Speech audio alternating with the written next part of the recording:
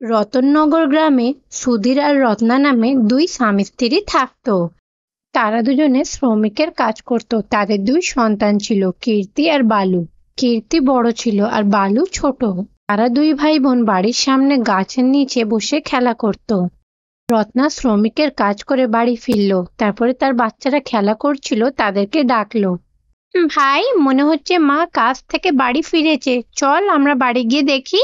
এরকম বলে কীর্তি বালুকে নিয়ে বাড়ি গেল। তার মা কাঠের উনুনে রান্না করছিল। তারপরে বাচ্চাদেরকে নিয়ে এইদিক ওইদিকের কথাগুলো বলতে লাগল। তখনই সেখানে মুরলি নামে এক লোক ঢোল বাজিয়ে খবর দিচ্ছিল। শুনো শুনো, সমস্ত গ্রামবাসীকে সচেতন করা হচ্ছে যে, একটা পাগলা ষাঁড় গ্রামের মধ্যে ঢুকে পড়েছে। ওই ষাঁড়ের সামনে যারা আসে, ওই ষাঁড়টা তাকে মেরে ফেলে। সেই জন্য সমস্ত গ্রামবাসীকে সাবধান থাকার জন্য বলা হচ্ছে। এইভাবে খবর দিয়ে সে সেখান থেকে চলে যায়। বাড়িতে থাকা রত্না আর তার বাচ্চাগুলো এইটা শুনে ভয় পেয়ে যায়। না, বাচ্চাদেরকে খাইয়ে খাটে ঘুম পাড়িয়ে দিল। তারপরে বাইরে দরজার সামনে দাঁড়িয়ে তার স্বামী সুধীরের অপেক্ষা করতে লাগল। অন্যদিকে সুধীর জানতোই না যে গ্রামে একটা পাগলা ষাঁড় ঢুকেছে। তাই সে রাস্তায় আস্তে আস্তে এদিক ওইদিক তাকিয়ে হাঁটছিল। সে রাস্তায় গ্রামের কাউকেই দেখতে পাচ্ছিল না। এইটা দেখে সুধীর বলল, কি হলো? সবাই কি এত তাড়াতাড়ি ঘুমিয়ে পড়ল? আজকে আমার ফিরতে হয়তো দেরি হয়ে গেছে। রত্না আর বাচ্চারা হয়তো আমার অপেক্ষা করতে করতে খেতে ঘুমিয়ে পড়েছে। দশ টাকা বেশি দিবে বলে একটু বেশি কাজ করে ফেলেছি। যার বাড়িতে বাচ্চা আছে, তাকে তো এটা করতেই হতো। এভাবে ভাবতে ভাবতে সুধীর এগিয়ে যাচ্ছিল। তখনই সেখানে রাগে একটা ষাঁড় দাঁড়িয়েছিল। সুধীর ষাঁড়কে দেখে ভয় পেয়ে যায়। ষাঁড়টা ছুটে এসে নিজের শিং দিয়ে গুতিয়ে সুধীরকে ফেলে দেয়। তারপর আর কি হবে? সুধীর সঙ্গে সঙ্গে সেখানে মারা যায়। ষাঁড় এইটা দেখে সেখান থেকে চলে যায়। না, এই বিষয়ে কিছুই জানতো না। সে নিজের বাচ্চাদেরকে খাইয়ে খাটে ঘুম পড়িয়ে দেয়। অন্যদিকে রত্না ষাঁড়ের নজর থেকে বাঁচার জন্য দরজার সামনে দাঁড়িয়ে স্বামীর অপেক্ষা করছিল। পুরো তিন ঘণ্টা অপেক্ষা করার পরে যখন সুধীর বাড়ি ফিরল না, তখন রত্না মনে মনে ভাবলো, তাদের সঙ্গে যারা শ্রমিকের কাজ করে তাদেরকে জিজ্ঞাসা করা দরকার। এইটা ভেবে সে দরজাটা বন্ধ করে ষাঁড়ের নজর থেকে বেঁচে আস্তে আস্তে এগোতে লাগল। কিছু দূরে হাঁটার পরে সে তার স্বামীকে রাস্তায় পড়ে থাকতে দেখল। আরে, তোমার কি হলো? তুমি উঠছো না কেন? আরে, রাকেশ বাবু, আরে, রমেশ বাবু, একবার এসে দেখুন না কি হলো এর। এভাবে সে জোরে জোরে চেঁচিয়ে চেঁচিয়ে কাঁদছিল। তখনই পাশে থাকা একটা গোয়াল ঘরে সেই পাগলা ষাঁড়টা ছিল। সে তার আওয়াজ শুনে উঠে পড়ল। তারপরে সেই ষাঁড় তার কাছে এগোতে লাগল। এইটা দেখে রত্না ভয় পেয়ে গেল। তখন রত্নার মনে পড়ল যে গ্রামে একটা পাগলা ষাঁড় ঘুরছিল। তখন সে ভগবানকে বলল এই ভগবান, এবার আমার বাচ্চাদেরকে তুমি রক্ষা করো। সে যখন এইভাবে প্রার্থনা করছিল, তখন সেই ষাঁড় এসে তাকেও শিং দিয়ে আঘাত করে। ভাবে রত্না সুধীরের জন্য সেই রাতটাই শেষ রাত ছিল, কারণ সেই ষাঁড়ের আঘাতে তাদের দুজনেরই মৃত্যু হয়। পরের দিন সকালে কীর্তি আর বালু যখন ঘুম থেকে উঠে দেখল, তাদের মা বাবাকে তারা কোথাও দেখতে পাচ্ছে না। তো তারা ভাবলো যে তাদের মা বাবা কাজে চলে গেছে, কিন্তু তাদের বাড়ি থেকে একটু দূরে তারা লোকেদের ভিড় দেখতে পেল। এখানে কি হয়েছিল এটা দেখার জন্য ভাই বোন এগিয়ে গেল। নিজেদের মা বাবাকে ওখানে পড়ে থাকতে দেখে ভাই বোনে মিলে খুব কাঁদতে লাগল। এইভাবে কীর্তি আর বালু অনাথ হয়ে যায়। সেই ষাঁড়ের ভয়েতে গ্রামের লোকেরা সঙ্গে সঙ্গে তাদের দুজনের অন্তিম সংস্কার করে দেয়। গ্রামের লোকেদের কথাবার্তার মাধ্যমে কীর্তি আর বালু এটা বুঝতে পারে যে ওই পাগলা ষাঁড়ের জন্য তাদের মা বাবা আজকে জীবিত নেই, তারা অনাথ হয়ে গেছে। তারা দুজনে মনে মনে ভেবে নেয় যে ওই ষাঁড়কে শাস্তি দিতেই হবে, কারণ আর কোনো সন্তানরা অনাথ না হয়। তখন বালু বলল, দিদি, আমরা দুজনে তো অনেক ছোট, আমরা ওই ষাঁড় থেকে কি করে বদলা নিতে পারি?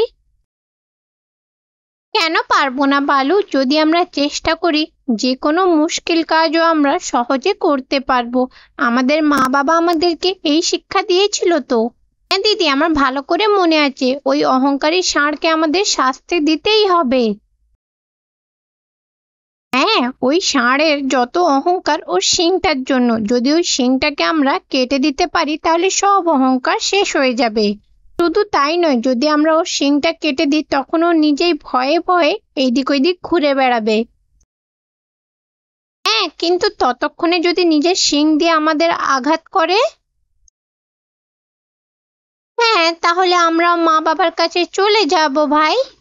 ভাই বোনে একে অপরকে এইভাবে সান্ত্বনা দিচ্ছিল। ওই গ্রামের লোকের ওই পাগলা ষাঁড়ের কারণে ভয়ে ভয়ে ঘুরছিল। এই ভয়টাকে লোকেদের মন থেকে বের করার জন্য কীর্তি আর বালু মনে মনে ভেবে নেয়, ষাঁড়টাকে শাস্তি দিতেই হবে।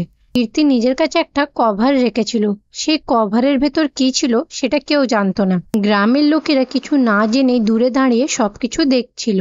তখন সবাই ষাঁড়কে দেখে ভয় পাচ্ছিল, তখন কীর্তি আর বালু ভয় না পেয়ে তার সামনে দাঁড়িয়েছিল। এটা দেখে ষাঁড় খুব রেগে যায়। তখন ষাঁড়টা তার দিকে দৌড়ে এলো। কীর্তির সঙ্গে সঙ্গে তার শিংটা ধরে নিল আর বালু তার লেজটা। কীর্তি ষাঁড়ের ঘাড়ে উঠে পড়ল। তারপরে তার শিংটাকে ধরে তার চোখের ভেতর আঙুল ঢুকিয়ে দিল। তার কারণে ষাঁড়ের চোখ বন্ধ হয়ে যায়, সে থেমে যায়। কিন্তু সে চোখে কিছু দেখতে পাচ্ছিল না। সে হাঁটতে হাঁটতে একটা গাছের সাথে ধাক্কা খেয়ে সেখানে পড়ে যায়, পড়ে গিয়ে অজ্ঞান হয়ে যায়। সঙ্গে সঙ্গে কীর্তি আর বালু কাঠারি এনে তার দুটো শিং কেটে দিল। বাচ্চা দুটোর এরকম সাহস দেখে গ্রামের লোকেরা বাচ্চা দুটোকে খুব সাবাসী দিল। ওইটা কৃষ্ণাপুর নামক গ্রাম ছিল, যেখানে ভাঙাচোরা একটা বাড়ি ছিল। এখানে দুটো বাচ্চা থাকতো, তাদের এই পৃথিবীতে কেউ ছিল না, তারা দুজনে অনাথ ছিল। এই জন্য তারা একটা হোটেলে কাজ করে, সেখানে তিন বেলা খাবার খেয়ে নিজেদের জীবন কাটাচ্ছিল। সন্ধে হয়ে যাবার পর তারা বাড়ি ফিরে, সেখানে ঘুমিয়ে পড়তো, এইভাবেই তাদের জীবন কাটছিল। এইভাবে দিন কেটে যায়। তারপরে এলো গণেশ চতুর্থীর দিন। সেদিন তাদের হোটেলের মালিক বলল কীর্তি আর বালু কালকে তোমাদের দুজনের হোটেলে আসার দরকার নেই কারণ কালকে গণেশ চতুর্থী। কালকে আমার বাড়িতে পুজো আছে। এই নে কীর্তি বালু তোরা কিছু টাকা রাখ। কালকে উৎসব আছে কালকে তোরা দুজনও গণেশ চতুর্থী পালন করিস। এইরকম বলে তাদের টাকা দিল। বাচ্চারা সেই টাকাটা নিয়ে অনেক খুশি হলো তারপর যে যার নিজের কাজে লেগে পড়ল। সেদিনের কাজ শেষ করে তারা সেখানে খাবার খেয়ে বাড়ি চলে গেল। বাড়ি পৌঁছে ভাই আর বোন একে অপরের সঙ্গে কথা বলতে লাগল। দিদি, আমরাও আমাদের বাড়িতে গণেশ ঠাকুরকে আনব? আমাদের বাড়িতে এত পরিষ্কার না, কি জানি গণেশ ঠাকুর আমাদের বাড়িতে থাকতে চাইবে কি না? দিদি, চলো না, আমরা সারা রাত জেগে অনেক কষ্ট করে বাড়ির সব কিছু পরিষ্কার করব। এই কথা শুনে কীর্তিও হ্যাঁ বলল। তারপর তারা দুজনে মিলে ঘর পরিষ্কার করতে লাগল। ঘর পরিষ্কার করতে করতে রাত বারোটা বেজে যায়। তখন কীর্তি তার ভাইকে বলল, শোন না ভাই, কালকে কি জানি গণেশ মূর্তি পাবো কিনা। চল না, আমরা নিজেরাই তৈরি করি। তুই কি বলিস? বল। বালু ও নিজের দিদির কথায় রাজি হয়ে যায়। তারপরে তারা দুজনে মিলে বাড়ির বাইরে এসে তাদের উঠোনে বসে ছোট্ট একটা গণেশ মূর্তি তৈরি করল। গণেশ ঠাকুরের মূর্তি তৈরি করতে করতে তাদের দু ঘণ্টা লেগে যায়। এইভাবে গণেশ মূর্তি তৈরি করার পরে তারা দুজনে হাত মুখ ধুয়ে বাড়ি গিয়ে ঘুমিয়ে পড়ল। তারপরে পরের দিন সকালে উঠে তারা স্নান করে তৈরি হয়ে যায়। তারপরে পুজোর জন্য ফুল আর পাতা সাজাতে লাগল। ভালো আমি শুনেছি গণেশ ঠাকুরের মোদক খেতে খুব ভালো লাগে। তুমি না এক্ষুনি যাও ওই সীতা আন্টির মিষ্টির দোকান থেকে একটু মদক নিয়ে এসো। এইভাবে বলে কীর্তি তাকে কিছু টাকা দিল। বালুও সেই টাকা দিয়ে সীতা আন্টির মিষ্টির দোকান থেকে কিছু মিষ্টি নিয়ে বাড়ি ফিরল। তারপরে তারা দুজনে ভগবানের কাছে প্রসাদ দিয়ে কীর্তন গাইতে লাগল। নিজেদের ছোট ছোট হাত দিয়ে খুব সুন্দর করে যেইটুকু পারছিল কীর্তন গাইছিল। তারপরে কীর্তি গণেশ ঠাকুরের সামনে লাড্ডু আর মদকের প্রসাদ রেখে বলল শোন ভাই, এবার আমাদেরকে বাইরে যেতে হবে, কারণ গণেশ ঠাকুর বাড়ির ভেতরে এসে এই প্রসাদগুলো খাবে। চল চল, আমরা বাইরে যাই। এইরকম বলে তারা দুজনে ঘরের বাইরে চলে গেল। তাদের যাওয়ার পরে গণেশ ঠাকুর সেখানে হাজির হলেন। তারপরে তিনি সেখানে রাখা প্রসাদগুলো খেয়ে ফেললেন। তখন বালু বলল, আমি বাড়ি গিয়ে দেখি গণেশ ঠাকুর এলো কি না এইরকম বলে বালু উঁকি মারতে লাগল। আমি বারণ করছি না, এইভাবে দেখিস না। তার দিদির বারণ করা সত্ত্বেও সে কোনো কথাই শুনলো না, সে দেখেই চলেছিল। সে দেখল গণেশ ঠাকুর খাচ্ছিল। আরে বা, সত্যি গণেশ ঠাকুর এলো, আর উনি খাচ্ছে তো। বালু যখন এরকম বলল, এটা শুনে কীর্তি অবাক হয়ে গেল। তুমি কি সত্যি বলছো? তখন কীর্তিও উকি মেরে দেখতে লাগল। সে সত্যি সেখানে গণেশ ঠাকুরকে দেখল। এটা দেখে তারা দুজনে অনেক খুশি হলো। আরে সত্যি তো গণেশ ঠাকুর আমাদের বাড়িতে এসেছে। এবার আমাদের বাড়ির সব কষ্ট দূর হয়ে যাবে। সত্যি, তার মানে গণেশ ঠাকুর আছে, আমাদের জন্য এসেছে। এইভাবে বলে তারা দুজনে কেঁদেই যাচ্ছিল। তারা নিজেরাই বুঝতে পারছিল না তারা কেন কাঁদছিল। তখনই গণেশ ঠাকুর দরজা খুলে বাইরে এলো। ওনাকে দেখে বাচ্চারা খুশি হয়ে বলল হ্যাঁ গণেশ ঠাকুর? এইরকম বলে তারা গণেশ ঠাকুরকে জড়িয়ে ধরলো। তখন গণেশ ঠাকুর বললেন বাচ্চারা তোমরা দুজনে আমার জন্য অনেক কষ্ট করেছ তাই আমিও তোমাদের জন্য কিছু নিয়ে এসেছি। তখন বলে তিনি নিজের শক্তি দ্বারা সেখানে দুটো বাক্স হাজির করলেন। এটাতে কি আছে? তোমরা নিজেই খুলে দেখো। এইরকম বলে তাদের দুজনকে একটা একটা করে বাক্স খোলার জন্য দিল। একটা বাক্স থেকে একটা মহিলা বেরোলো আর একটা বাক্স দিয়ে একটা লোক। এইটা দেখে বাচ্চা দুটো অবাক হয়ে যায়।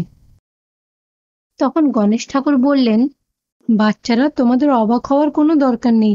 এরা দুজন তোমার মা বাবা। বাচ্চারা এটা শুনে খুব খুশি হলো। তারপর তারা নিজের মা বাবার কাছে চলে যায়। যে বাচ্চাদেরকে তোমরা হারিয়েছিলে, এই বাচ্চাগুলো তারাই। তোমাদের শত্রুদের কারণে তোমরা হারিয়েছিলে। এবারে তোমরা সবাই একসাথে খুশি খুশি থাকো। তারপরে গণেশ ঠাকুর তাদের আশীর্বাদ দিলেন। তারা সবাই খুব খুশি হলো। কীর্তি আর বালু নিজেদের মা বাবাকে ফিরে পেয়ে অনেক খুশি হলো। তখন তাদের মা বাবাও বলল, বাচ্চারা, তোমরা যখন ছোট ছিলে, তখন আমাদের একটা শত্রু তোমাদেরকে আমাদের কাছ থেকে কেড়ে নিয়েছিল। তোমাদের অনেক জায়গায় খুঁজেছি। আজ গণেশ ঠাকুরের কৃপায় তোমাদের সাথে দেখা হলো। এরকম তাদের মা তাদেরকে বলল। তারা এটা জেনে অনেক খুশি হলো। তারপরে গণেশ ঠাকুর তাদের আশীর্বাদ দিয়ে সেখান থেকে উধাও হয়ে গেলেন। তারপরে তাদের মা বাবা তাদের সঙ্গে করে নিয়ে নিজেদের বাড়ি গেল।